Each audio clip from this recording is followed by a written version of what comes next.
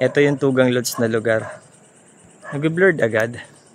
Ito yung lugar na kung saan marami yung natagpo ang bangkay nung nangyari yung trahedya na yon.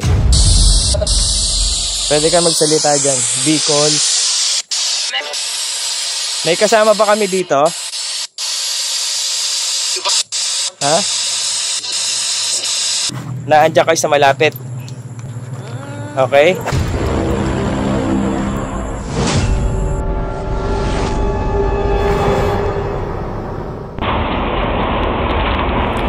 Napakalakas na hangin ang dala ng super bagyong Remeng na umabot ng halos 200 kilometers per hour. At ang bugsong hangin nito ay umabot ng 225 kilometers per hour. Kung saan marami ang nasawi sa super bagyong ito na umabot ng halos isang libo at 762 ang hanggang sa ngayon ay nawawala pa. This is the reality people here are waking up to. No coffins, no body bags, many out in the sun for days, too decomposed now to be identified.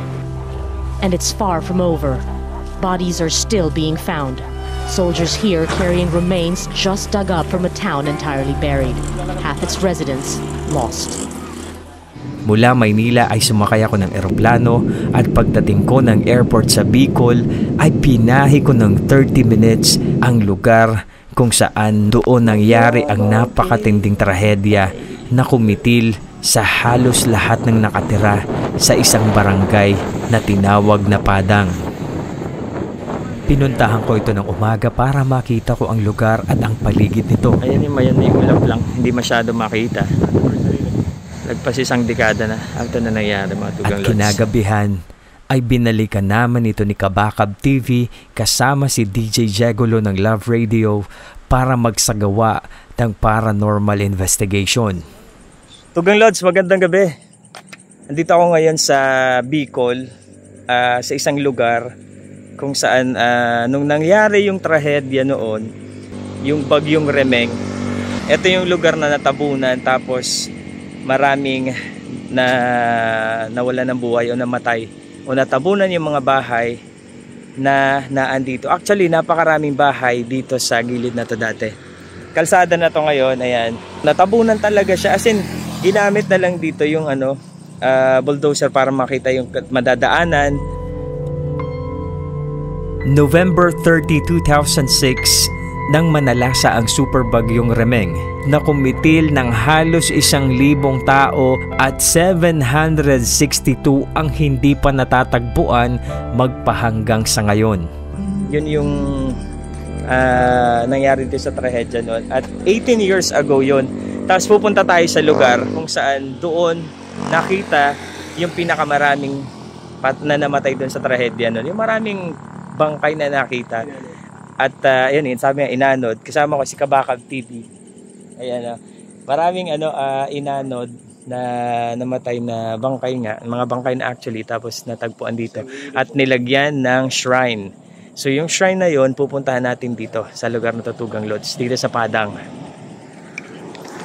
Ito yung lugar na kung saan marami yung natagpo ang bangkay nung nangyari yung trahedya na yon.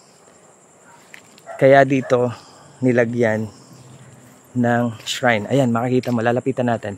Ito Tugang Lodge, talaga yung yung nakita ng mga tao dito na talagang natabunan nga yung mga bahay. Bubong na lang, puro bato, puro ano, puro ano yan? Puro na lang ah, galing, galing na buhangin sa Mayon Volcano. So ito yon Itong mismo makikita nyo na yan. Ayan. May cross dito napakalaki. At anta, shrine ni Tams. Shrine. Ayan, basahin Shrine. yun. To nature's beauty and wrath. Ayan. Those who perish and other will survive. Ang ko napapalaki ko to eh. Wait lang.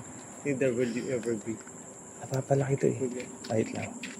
Ito ba? Ay, ang liit. Ganyan lang. Ayan. So ito, Tugang Lodge. Ano yan? To nature's ano? Beauty. and wrath. And wrath those who to perish. those who perish and survive. others who survive. You are no, You're not you're not forgotten. forgotten, neither will you ever be. Ano to? to our individual resilience and communal determination.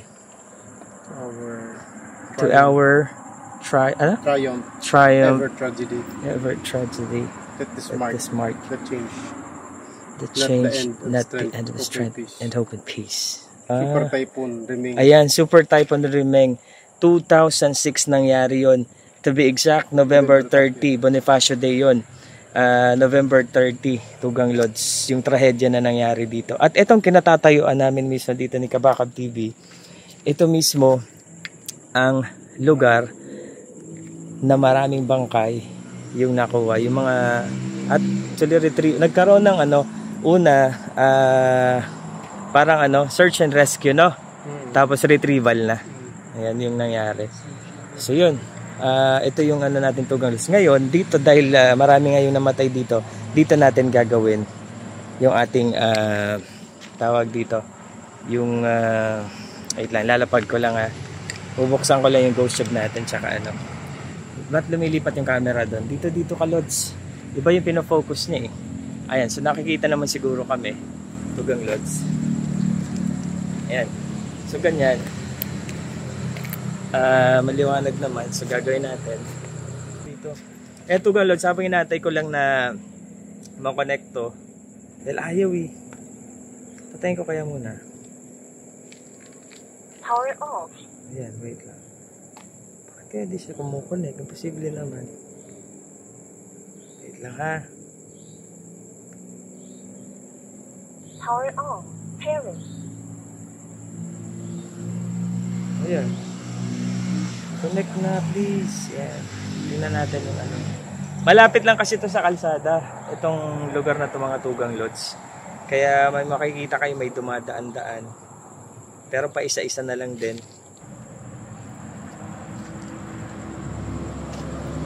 Matayong spirit box na yun. Pero ito. Heaven? Heaven. Ibig sabihin ba nasa heaven na yung mga ano dito? Yung mga nasawi sa trahedya dito? Sige, pwede ko kayong kausapin. Ayan. Ghost ball, EMF. Nasa taas lang para pag may ano. Ito, pwede mo tama sa awakan. Pag nag-spike yan, ibig sabihin may energy tayong ano. Ibig sabihin may energy na lumalapit. Pwede pong lumapit kayo dito sa EMF. Pagka ano to, pagka umilaw tong ah, dala ni Kabakab TV, yan, na EMF, ibig sabihin lang yan, ito ay ano, merong presensya. Pag nag-spike yan, meron po bang kasama kami dito sa kinatatayuan namin? What is this? Um, yan yung mga equipment na pwede nyong gamitin na andyan kayo sa malapit. Okay? Okay? Ayan.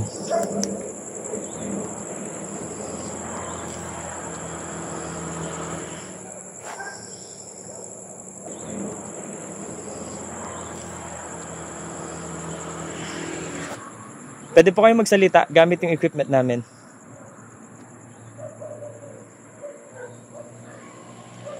Alam po namin na marami yung ano dito, nasawi sa trahedya ng Remeng noon, 2006. How do you feel? Ano, nararamdaman namin ano, ah, pagkaawa dun sa mga nasawi sa trahedya.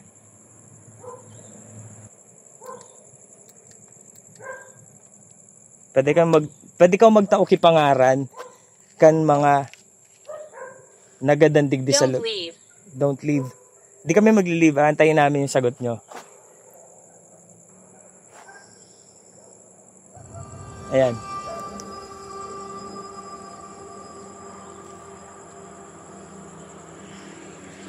Dito kasi sa lugar na Tutugang Lodge, ito yung ano talaga, lugar kung saan ano, ah, maraming bangkay yung na-recover dito. Di ba, Tams?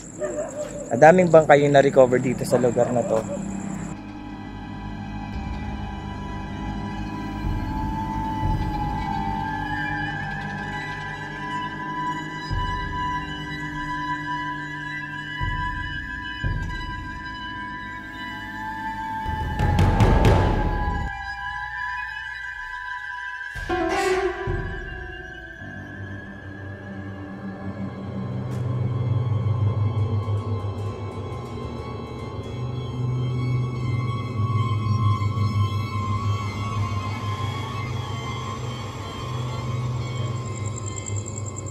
Yun no. Pero mamaya na tayo dyan. Focus muna tayo dito sa pagkausap sa ano. So yun. Down there. Ha? Down there. ah. Ha? Down there. Dito? Tugang lods. Ayan yung ano. Paikutin natin dito yung ano. Habay natin natin. Kasi ito, pinayuan na nga ng shrine dito. Ito na nga yun. Dahil, ay shit. Wait lang. Hag. Ha? Ano daw, Tams? Wag. Ah, hag. Hag. Kala ko wag. Hug daw. I-hug mo kami? Wag. ano, pailawin mo na lang yung ghost ball namin. Pagka umilaw yan, ibig sabihin, naandyan ka sa tapat na yan. Tapos, kakausapin namin ikaw. Okay lang ba? Kung meron dito?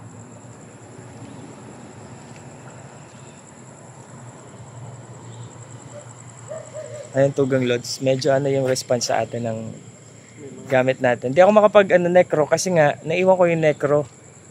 So, hindi necro yung gamit ko ngayon. Kami, nagpasama lang ako kay Kabakab TV. Mag-subscribe kayo Tugang Lods kay ano, Kabakab TV. Ano nga, ano, Kabakab TV yung ano, Tams, yung ano mo, channel. Um, tawag dito, ang channel mo yung ano, Sa Facebook. ah, Facebook, hindi sa YouTube. Sa YouTube. Kabakab TV. Sa Ah, Kabakab TV din. Ayan yung ano, Wilfred Ron. Wilfred. Eto, mag-ano tayo. Habang wala pang sagot, ano tayo, mag ah, spirit box. Gumamit kami ng spirit Pag box nag-spirit para box direktang tayo, makapagsalita o rekta, direktang masabi ng mga entity o Bicol. espiritu na naandun kung ano Pwede yung gusto nilang Bicol sabihin sa amin. Pwede ka magsalita dyan. Bicol. May kasama ba kami dito? Ha? Nagulat kami sa sinagot kami? dahil ang sinabi ay igwa. Ang ibig sabihin ay meron. Ikaw kami kay Eriba Digdengon yan, na espiritu. Uli? Tama? Uli daw. Ibig sabihin ng uli, Sumunod ay mga salitang. Bicol pa na hali Alis na at uli na ang ibig sabihin ay umalis sa lugar na yun at umuwi. Oh, putik na yan. Nag-crash oh. Bakit ganun? Ba't kinakrush nila? Ano daw? Ano yung kaiba, me? Aki, gurang, o ano? Bata ba? Matanda? O middle age? O ano ba? Gurang na?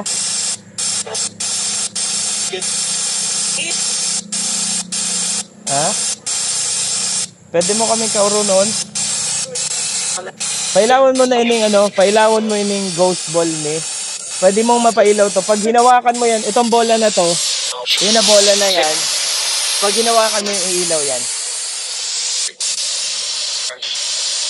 Sige, pwede mong gawin yan.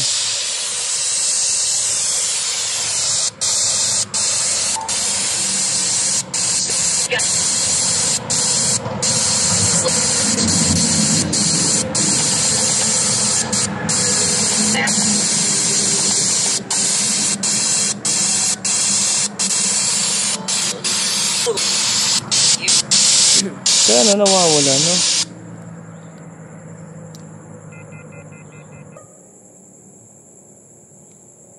Medyo tahimik sila na ngayon. Tugalos, tahimik yung ano. Hindi masyado na... Kasi sa ibang lugar, tas, pagka dala namin to, tuloy-tuloy yung sagot, tuloy-tuloy yung ano. So, hindi kaya ano, Disturb kaya sila. Kasi ano, yung mga dumadaan dyan. Mga iba ba. baka maingay nga yung mga dumadaan. Pero, Light. ha? Light. Masyado bang maano, malakas? Babawasan ko. Bawasan ko? Gan- Light.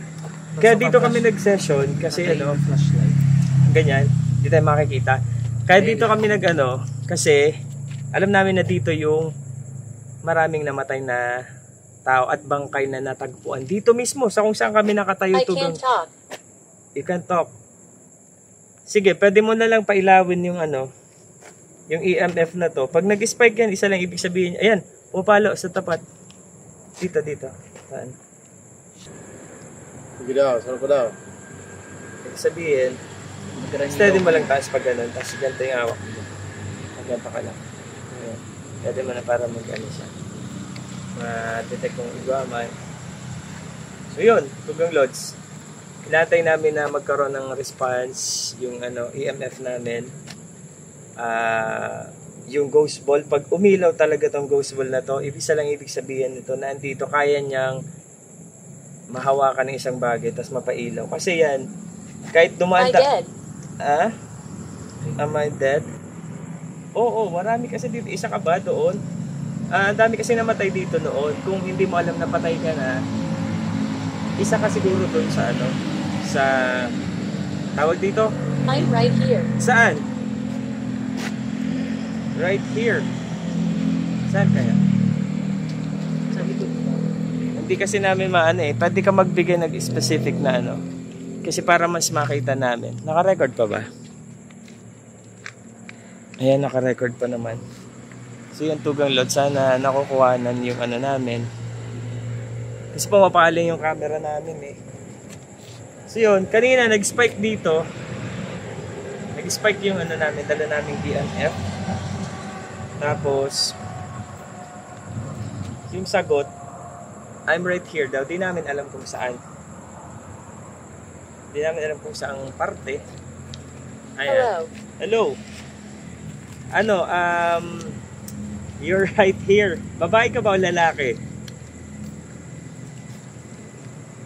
Bata o matanda? Ano ka? Spirit or elemental?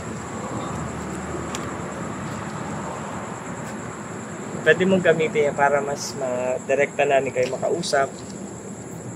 Para rekta namin ano. Gusto ko sa explore yung ano kaso. Pwede ba na-explore? Hindi ko lang sure kung kayo mo. Pwede, sige. Tingnan natin. So mamaya, subukan namin pumasok doon sa isang ano. Okay? So,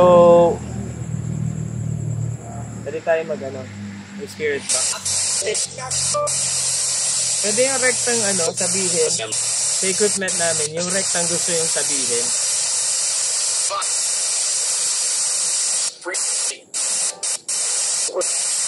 Bicol, pwede dyan.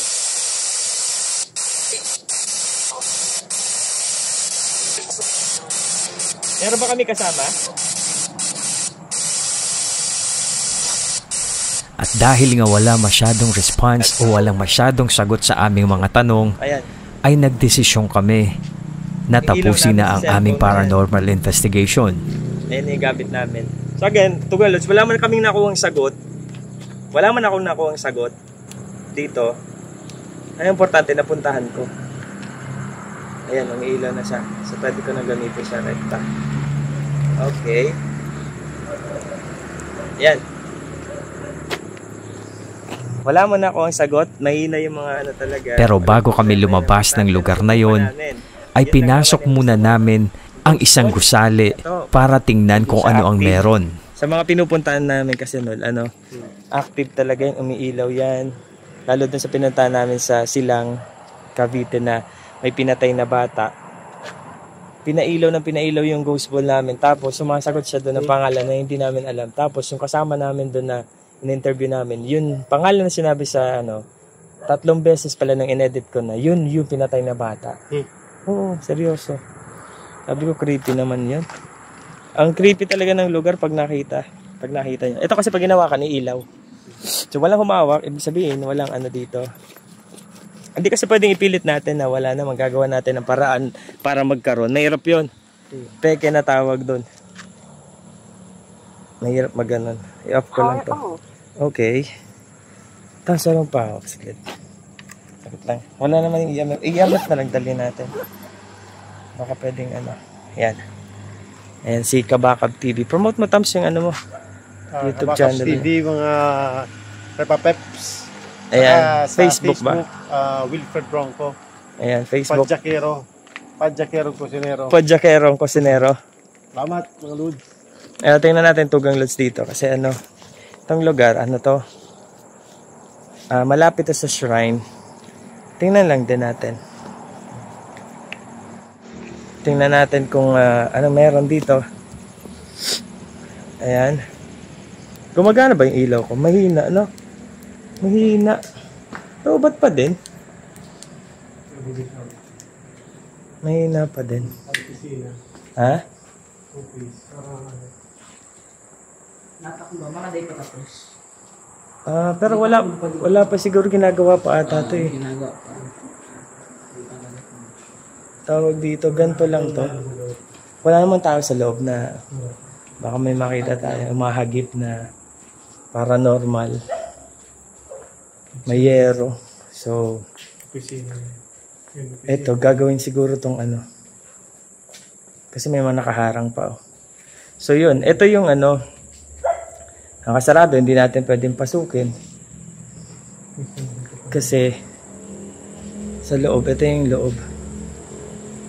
Wala naman siguro na nakikita kayo. So, hindi natin pwedeng pasukin yun kasi ano. Pero at least na tingnan lang natin kung ano meron. Ito kasi malapit to sa ano, sa shrine. So, katabi lang ng shrine. At ah, kaya pala wala masyado. Ito ano to? Ayan. So, Tugang Lods, ah, maraming maraming salamat. Maraming maraming salamat sa pagsilip sa vlog ko. At ah, again, Hunted Explorers, pwede yung subscribe and ah, i-click ang notification bell. Certain TV, Boss Benok TV, Paolo the Explorer, and of course, Joko Loco. Pag nag-subscribe ka sa akin, tapos nag-subscribe ka sa i-click mo na din yung notification bell para para panalo talaga. Ibig sabihin, ma-update ka kung, ma-notify ka kung meron kayong bagong update. So, yun. Yan na lang to girls gawin mo. Maraming maraming salamat kasi ang layo man ng biyaheng ginawa ko, pero napunta ko pa din tong lugar na ito. Na kung saan, an, ano, ilang, ilan ba yung namatay dito, Tams? Marami. Dito. Libo? Libo yon? Hmm, Pero hindi lang dito sa isang barangay nito. Sa ano, Bung Albay. Tabong Albay Libo yon. May libo dito. Mar- marami dito. Marami din dito kasi ano, pami-pamilya yung namatay dito na natabunan yung ano eh, yung mga kabahayan dito. Tabunan na. Tapos puro bahay to noon doon tapos ano, pero dahil nga Basketball court nga dyan dati. Wala. Oh, basketball court doon sa ano, puro na puno, puro na tinubuan na ano. Kasi natabunan na to. Actually, nawala na to, nawala to sa mapa. Ano ba ito, Lodge? Again, maraming maraming salamat uh, sa pagsilip ng vlog. Joko Loco nga nakasama niyo dito sa ating ano. Sa mga nakarating dito sa dulo ng video, maraming maraming salamat. At uh, syempre, ano ka din, abang-abang sa mga upload namin. Maraming salamat sa suporta. And of course, sa pag-live namin gabi-gabi, panoorin niyo Sir Tang TV, Boss Benok TV, and si Paolo Explorer. So, puntahan mo kami. And of course, pakisubscribe naman Tugang Lodge si Kabakab TV. Kabakab TV. Yan. Sa Facebook, sa YouTube, paras yan. Kabakab K-A-B-A-B? Ah? B-A-B. Kabakab. Ayan, TV. Tapos may TV din yon. So yun. Tugalos, maraming salamat. Palabas na kami dito sa shrine kung saan marami yung ah, namatay na ah, residente dito sa lugar na ito nung trahedya ng Bagyong Remeng na parang ang katumbas nun Yolanda. Yolanda ang basta lakas nun eh. Kasi ano eh sobrang dami yung yung kalsada nahati dito. Yung ano sementeryo nagka bitak-bitak may mga kabaong pang ano eh nakita nun sa ano na na nawala eh. Ay nawala na inaanod habang baha eh. So yun tugang lods. Maraming maraming salamat sa pagsilip dito sa vlog. Pawisan ako pero thank you so much. Nakaabot ka dito. Thank you guys. Bye